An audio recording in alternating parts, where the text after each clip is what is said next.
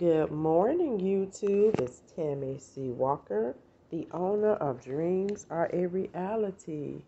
I created this channel to provide light and love.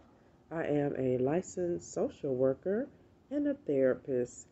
I was always told, do not say you're a social worker until you get your license. I guess that's how it goes. And hey, I can say that now. Woohoo! Happy Friday, and I hope you had a beautiful week. I had a great week. Um, yeah. So today I want to talk about guidance. This is coming out of my daily word. When I heed my guidance, every step I take leads me to God. If I find myself wondering which way to go, or if I'm pondering a tough choice, I pause and connect with the best possible guide, my divine intuition. I began by remaining relaxed and open to divine inspiration. I have abiding trust in God as I consider my thoughts, feelings, and all I know about the choice I face. I am attentive to the impressions that arise within me as I release my concerns in prayer. I hold the guidance I receive in my heart, grateful for inner knowing and ready to move in the direction of my highest good. I'm never alone in any decision. I walk forward confidently, knowing whatever the path ahead, God is in every step.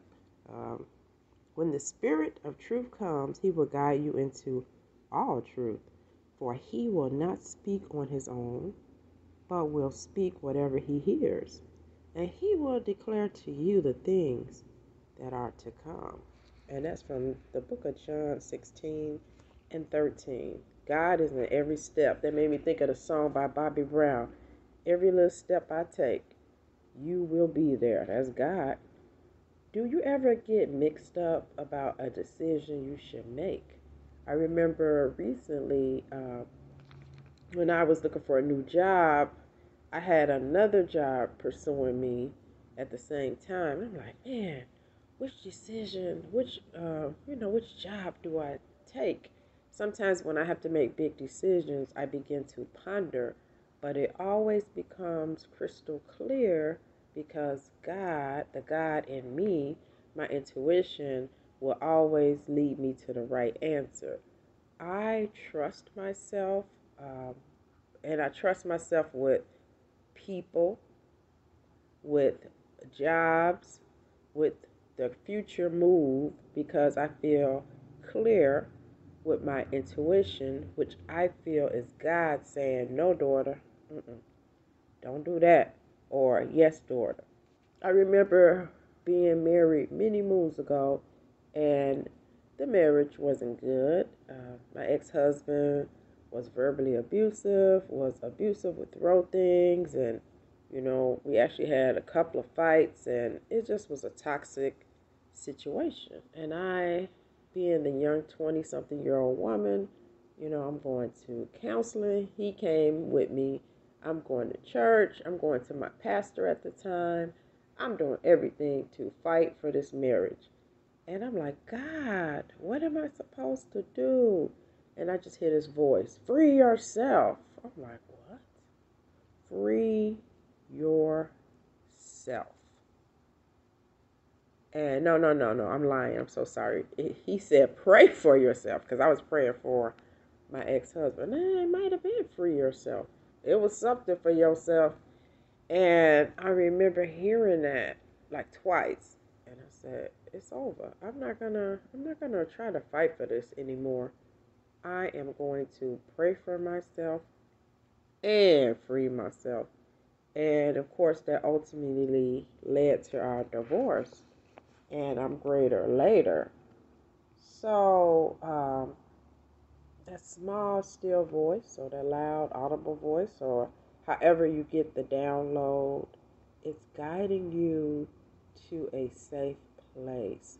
That's your intuition even times when I do snap decisions, like when I begin to work with this uh, private practice I'm at, it came from someone who I really didn't even talk to that much at church, didn't even have like a relationship with, but she was like, hey, I'm working with someone who has their own practice. Do you know someone that may want to work with her at the time? Of course, I wasn't licensed um, because I'm just licensed now, but I was a new um, clinician. And I'm like, well, me, here I go. I'm always talking me. And I go and meet her. And the lady that runs the practice, she's very sure Okay, that's the word I'm gonna use. And I'm very sure too, but I'm more laid back with my approach. So I go in her office, we're talking. She's like, "What are you looking for? What are you looking for in a practice? What do you, what do, do you want your own practice?" She's like throwing all these questions at me. Whoa, whoa, whoa, whoa, whoa, Nelly. One thing with me, I don't I don't operate like that. I'm more deliberate and calculating, and honestly, definitely since over um, my age of over forty I just really slow down when it comes to making big decisions. I don't jump and do something. I have to think about it. Sometimes I might write stuff out. I like to make good decisions. I just don't like to just do, you know, silly stuff. So she's throwing all this stuff at me, and I'm like, okay. She's like, well, let me know what you want, you know. And, she, and I had to get back to her in writing. And I told her what I was looking for. I know what I want. I'm just not very vocal about it, but I already I already wrote it down like 12 times. So long story short, here am I, four years later, still working for her. She looks, she's still doing the same thing, pushing me, pushing me, pushing me, which is such a blessing to have somebody to pour into you and mentor into you. Um, but it's just funny to watch how different people are. But I was saying all that to say, I um, didn't even really know the person that introduced me to the person that owns this practice. And I was feeling apprehensive about even getting involved in it. But I'm glad God, my intuition, led me that way. Then, as the practice grew and grew, I was like, eh, I think I'm to leave because it was some stuff I wasn't really, I was getting frustrated over. And it got better and better. And the more therapists under her, the more orderly things became. You know, that is hard. You're and one one woman, you know, show, then here I come, and she was trying to get it all together. But now it's probably, oh, I keep losing track. Maybe it's five or six clinicians under her with her. So it's probably seven of us, which we've grown into a team. We have meetings, trainings. It's going really well. And I'm glad I did not quit. The two times I wanted to quit, it was like God was like, nah, don't do that. And so from 2020, well, I say 2018 to 2020, I have such a uh, consistent clientele now, or clients. Um, but of course, in 2018, I was a newer clinician. Honestly, it was some times where I had clients, I wasn't even sure exactly which way to go. But now um, I'm more seasoned you know, um, trial and error, and you just hate to say trial and error with therapy. But it's just like being a teacher, a hairstylist. It doesn't matter. You, you just don't know everything. You just don't. So, what I'm trying to say here on this podcast is trust your intuition. No, don't trust your girlfriend. Don't trust your sister. Don't trust this. Don't trust that. Go with then what should I do? Should I buy this house? Trust your intuition. Should I marry this guy? Should I marry this woman? Should I ask this woman to be my wife? Trust your intuition. Should I take that job? Should I start my own business? Trust your intuition. I think I want to do this profession. Trust your intuition. You already know. The answers lie within. Sometimes we go to other people for advice, but we already have the answer because it's within us. Have you ever been like walking down the street? Well, I know this happens a lot. And I'm like, somebody's behind me. And I look, and sure enough, somebody's behind me. That's that Chicago West Side vision. I could feel, or I shouldn't go this way. This seems unsafe. You know, that's your intuition. You're on a date. Mm-hmm. Nah, this guy, he don't seem right. Trust your intuition. Stranger danger. Even, you know, even you might meet a lady, you know, as a lady meet another lady, like mm, something's fishy about her. I know I do that often in an interview. I'll be like, Mm-mm, I don't want to work with them. It's just certain energy people give off. Like, Mm-mm. I'll never forget. Um, I had a job in 2012. I love my well, I didn't love my job. I always get ready to say that. I love the people I work with. I love the company. The work I did was yeah. So uh, we got laid off. Um, it was a blessing, not a blessing get laid off, but the way they did it, I stayed on board with them, and I ended up getting these very nice quarterly bonuses, which led me to pay off my college um, debt that I owed to my school, which led me to enroll and get my master's degree. So it's such a blessing. Everything happens for a reason. And I loved my manager, Dave. Oh, I just love him. So I could call or text him right now and we could still, um, you know, laugh and talk. But after we got laid off, of course, I was fine for a few months and then I reapplied and got rehired. Did not like the manager I interviewed with. Like something was just off. I was like, I don't like this guy. He is not nice. Get hired, and I ended up working for him for a couple of years, and I was right.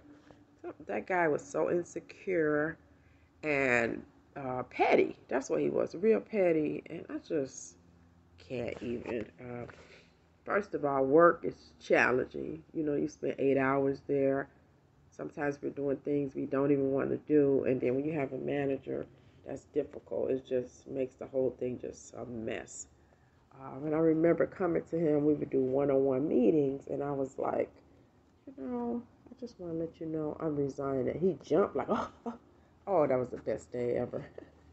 And I was resigning because I, I had went back to school and I knew I was going to have an aggressive schedule as an intern, as a student, and I had to work, but I couldn't work 40 hours. So I was able to quit. He was so shocked that I was so happy, so, so happy.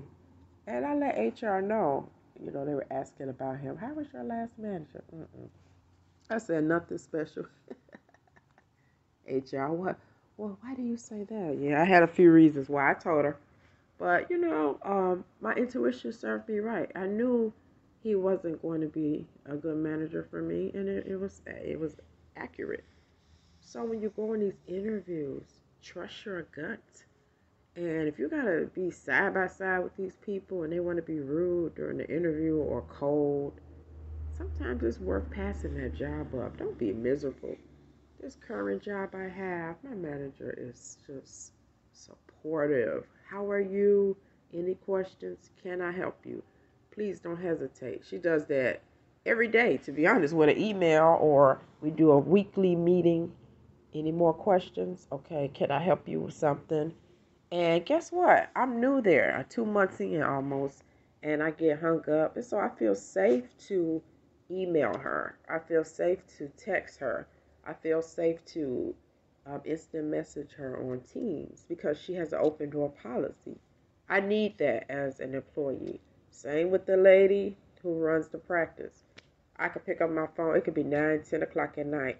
I can call her or text her. She'll say, Hey, Tammi, how are you? And how can I help you? What do you need? This is what she does for me. And um, know, know the type of manager you need, the type of support you need. Know the type of partner you need in love. And, you know, um, trust your intuition with that. Okay, I am going to get on up out of here. I am so glad it's Friday. I don't know what to do. I don't even have any major plans today after work. Just being Friday is good enough for me. Tomorrow, I'm hoping to check out my high school classmates. Um, man, how many years has it been? Long story short, I graduated in 1987. So um, I think that's like 34 years. That's nuts. That is nuts. Wow. Wow, wow, wow. Um, so hopefully, I don't know if is that is that right. Anyway, I'm not good with math. I hope to see some of them tomorrow. We have a park here outside of Chicago in our high school. If you're in the park, you'll see class of 71 here, 77, class of 80, class of 87. That's my class. I mean, just all these different classes having their picnic due to COVID, it's been uh, stopped. So this is the first one since 2019. So it looks like it's going to be kind of hot tomorrow, but I think I'm going to still pop out and see people. I just feel like as we get older, this stuff is important. You know, you really want to stay connected and appreciate those that you love. I had a good time in high school, such good fond memories. And my class, we stick together. We very close, all of us. So I'm, I'm grateful to God for that. Love you all so, so much. Thank you, every new subscriber. Thank you for the likes. Thank you for the comments. Thank you, Simplistic Motivation, for always sharing. And everybody that supports me. You all know how I feel. God bless you all. Have a beautiful Friday and an even better weekend. Bye bye.